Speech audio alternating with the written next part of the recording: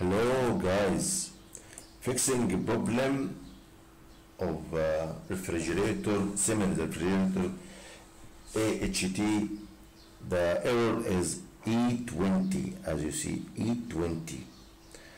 So this problem uh, it's uh, because of the uh, uh, control panel or control circuit, some uh, losing or some damage in the wiring so we have to check with the clamp ampere the rating current if it's okay and check all the connections good connections no losing.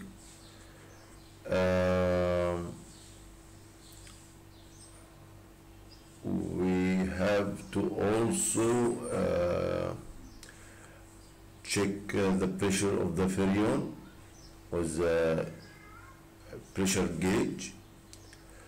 And as you see there's some damage here. This may be the problem. This damaged in the cable of the Freon may be the problem. This black cable um, this is a gauge of the pressure. The Freon circuit.